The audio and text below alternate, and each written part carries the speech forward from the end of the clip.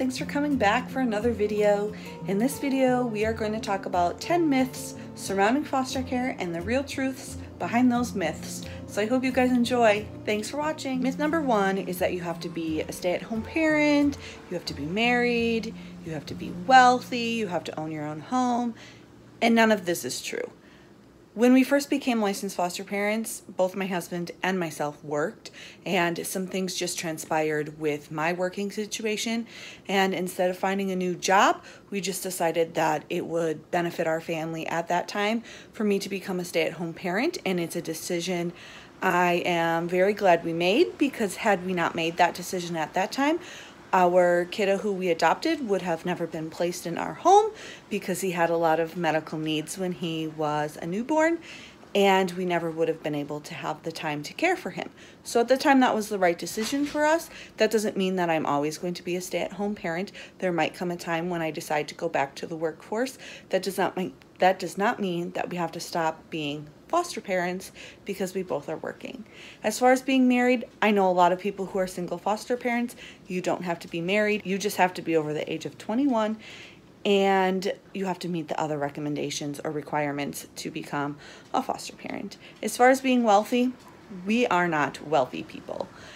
We live in a very small home. Um, wealth has nothing to do with it. You just need to show that you can provide for your family without relying on government programs. That's basically it.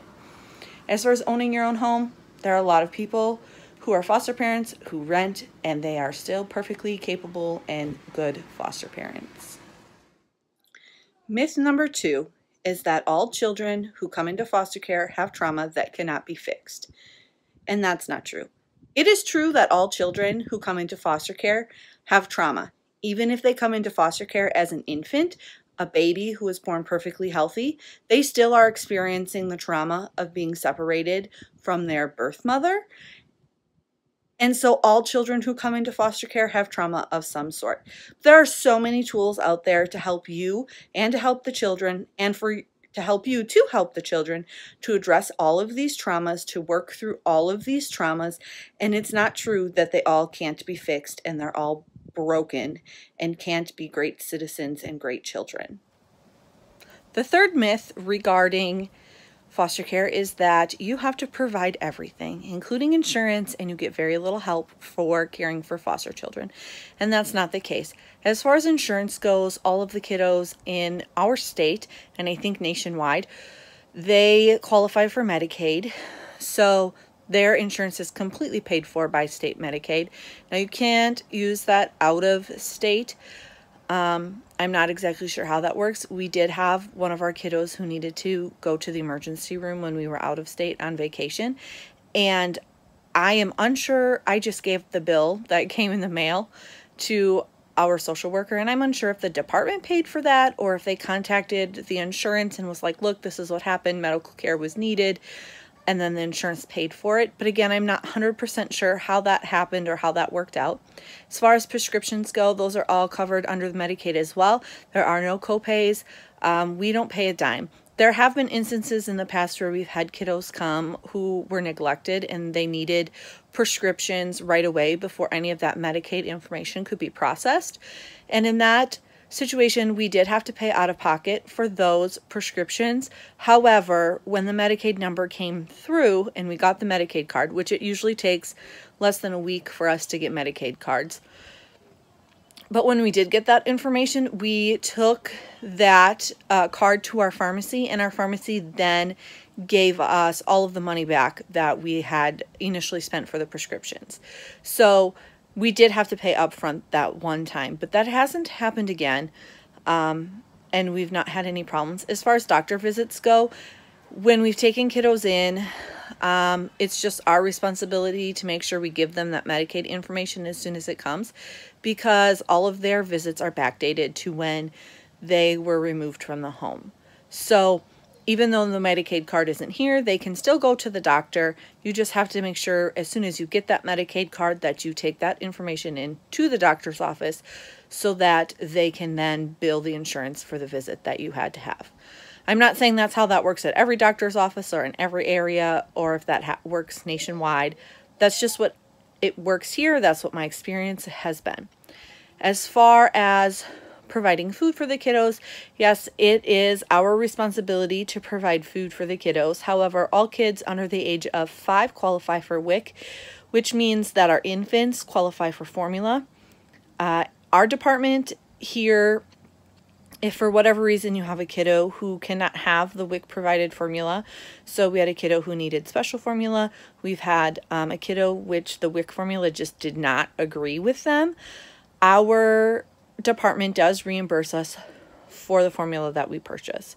So we're still not paying out of pocket for the formula. Uh, and then for the older kiddos, WIC does give you help towards getting certain foods and things like that because they qualify for that. There have been occasions that we haven't used WIC for kiddos, but for the most part, we do get those services. Um, in the beginning, it I just really didn't like using those services, but now I understand that it's important for us to set up those services because when these kiddos are reunited, it just makes reunification a little bit easier for the parents because everything is already set up. All they need to do is go in and have that initial appointment then and have everything switched into their name. But because everything is all set up, it takes a lot less time for them to get everything switched into their name. And a lot of times the parents, when they get their kiddos back, they need that additional help. As far as clothing goes for the kiddos, we um, have some stockpile that we've saved from some of our kiddos. I save about a week's worth of clothes or my favorite things that we have. Other than that, all of the clothes that goes with the kiddos when they leave, if they grow out of something, uh, we do sell them and use that money to purchase new clothing for them or if they're really worn we donate them or toss them or whatever the the situation is regarding the condition of the clothing our county and area does provide $200 of a stipend that is given to you that can be used once in the child's um, foster care placement. So when we got our current placement, I could spend, I could submit receipts up to $200 for each of the kiddos. It does not need to be used all at once. Um, I have split it up. I used a portion of it when they initially came, uh, and then I saved a portion of it because I knew that they would be here through the summer and then they would need fall and winter clothing. So I did save a portion of their stipend to then um, help towards purchasing the fall and winter clothing. Also, uh, foster parents do get a monthly stipend to help care for the kiddos. So that stipend is to compensate us for the groceries that we have to buy, the clothing that we have to buy, the supplies that they need. Um, when they're little, it helps pay for diapers and all of that kind of stuff. Um, all of the money that we get pretty much goes right back into the kids. There's usually not much left over at the end of the month um, from what they have. So we, although there are um, out of pocket expenses that we do have. Uh, if you're a thrifty shopper, if you're um, a good budgeter, I think that your monthly expenses will probably be more upfront in the initial first month that they are placed with you. But after that, like I said, we stick to a pretty strict budget and we don't really go much over um, our budgetary needs with the extra income we get from our current placement. So I think if you're good with your money and everything like that, you won't really be spending a lot of money out of pocket. Um, a lot of what you have will be reimbursed. Some areas, if kiddos are in special um, sports and stuff like that, there are some areas where the department will reimburse you for those things um, driver's education for teenagers. A lot of times those things can be reimbursed. So you just need to talk to your coordinator or your agency and find out what things that you're paying for for your kiddos are reimbursed, what things are things that are counted in the monthly stipend that you get, and then just go from there and decide what you're going to do as far as expenses and things like that. Myth number four is that foster children have to have their own rooms.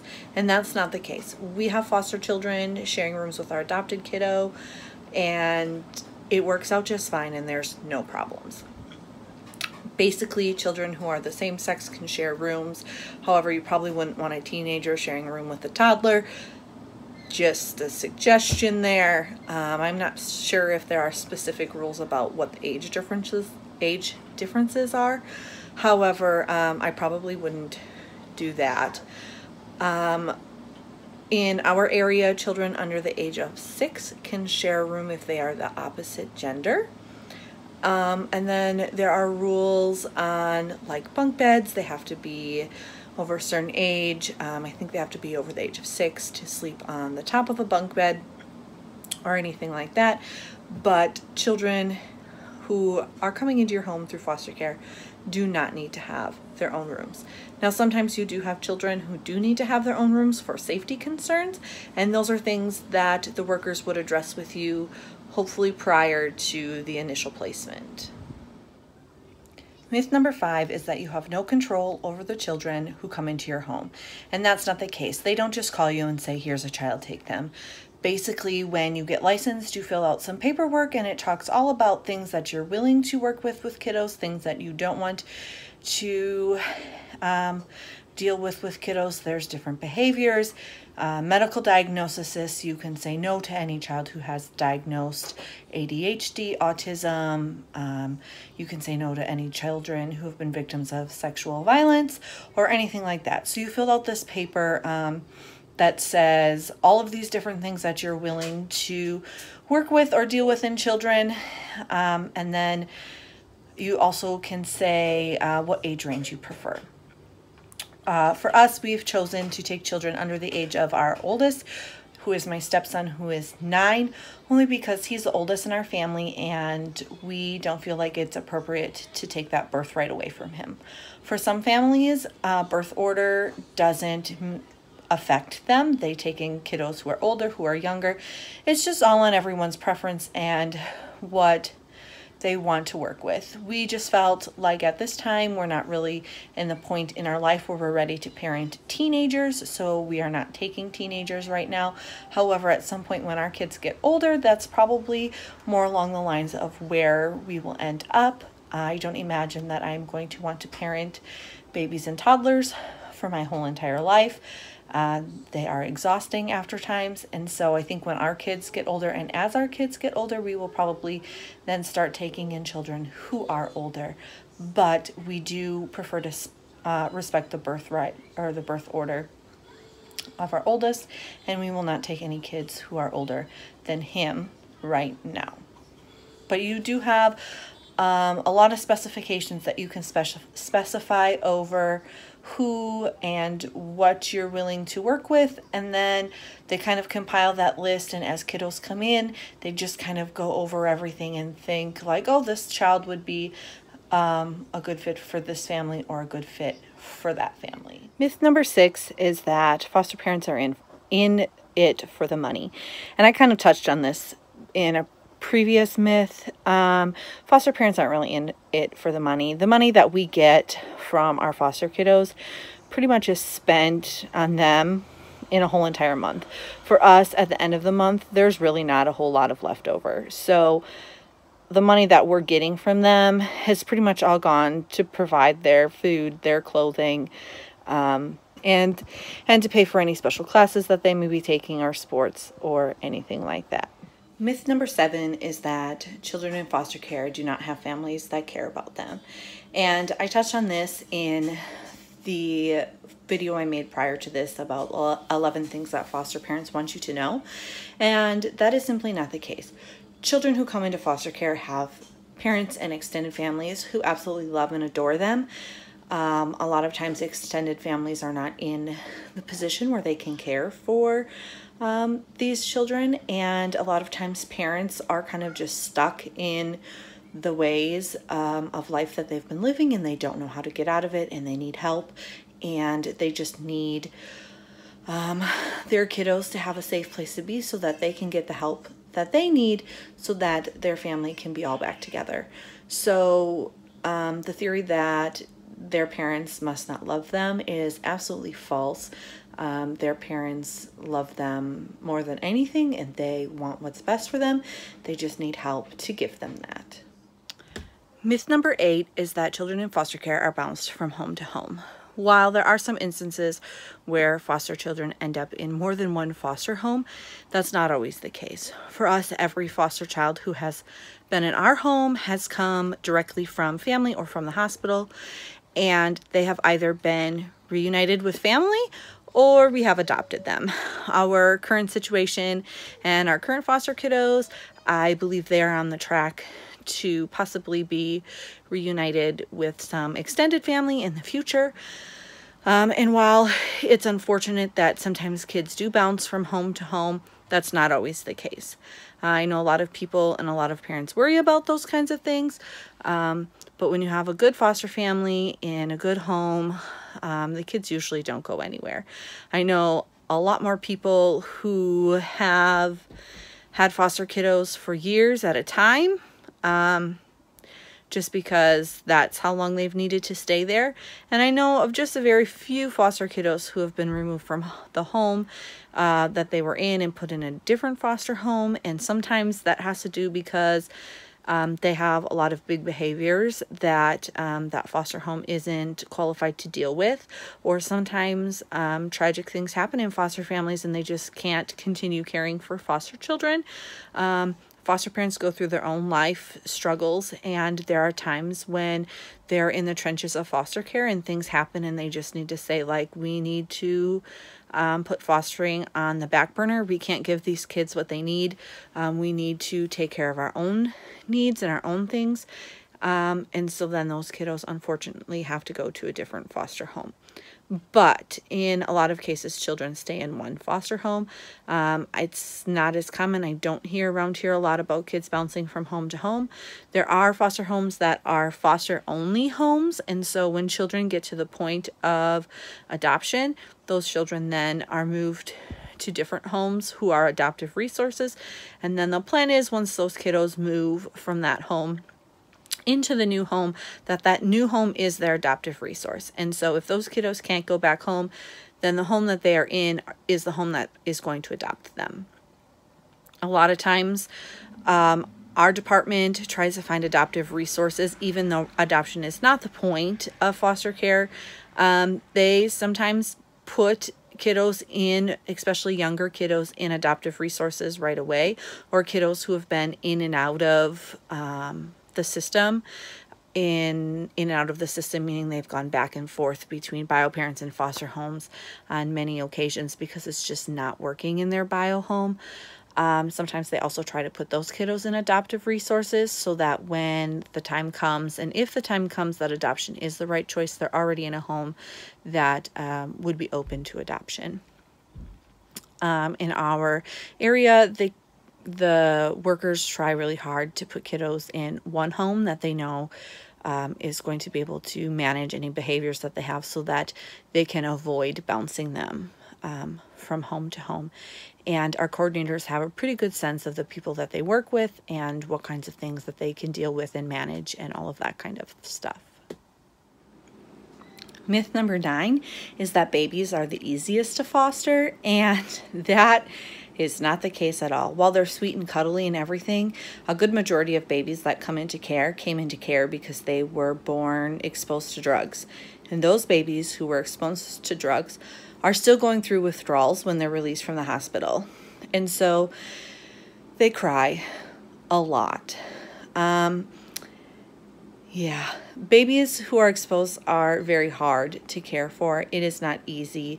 Um, you get a lot of sleepless nights when you have babies um, who were exposed. And like I said, that's a great deal um, of the babies who do come into care. They were exposed to drugs in utero.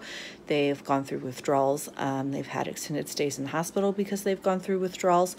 A lot of times those babies struggle meeting developmental needs um, because of the drug exposure. And so then it becomes um, where they need to go to a lot of different therapies to help um, catch back up to where they should be. And um, it's just a lot. Um, it goes on and on. And then as they age even older than that, they have other um, things that are affecting them because of the drug exposure. And um, there's just a lot of uh, disorders and behaviors linked to kiddos who have been exposed in utero. So I don't think that caring for the newborns is necessarily the easiest. Um, we've gotten kiddos, we've had babies in our home who were not drug exposed. We've also had babies who were drug exposed. Um, we've had babies who were neglected, and they are not necessarily the easiest to care for. Uh, we had one kiddo who came when he was nine months old. And unfortunately, I think he was left alone a lot and he wanted very little social interaction from us. We wanted to snuggle him and cuddle him and everything. And when he first came, he was very resistant to all of that. He wanted to just be put down on the floor and left alone. And so your idea of what uh, caring for a baby is like probably stems from perfectly healthy babies who live with bio families, and a lot of times that's not the case. Sometimes it's easier to take kiddos who are older, who can vocalize feelings that they're going through, um, and you can help them work through those feelings, and um, it's just a whole lot easier uh, when they can actually tell you what's going on. And finally, myth number 10 is that DCF workers or social workers have all the control over the situation and they make all of the decisions. And that's not how it works. In most instances, it is the judge who has the final say in everything. DCF or social workers can feel it's necessary to remove children from the home, and they do so. And you can get to that initial court hearing, which has to happen within 48 hours of removal and the judge can say, nope, there's not enough substantiated evidence, the children can go back home.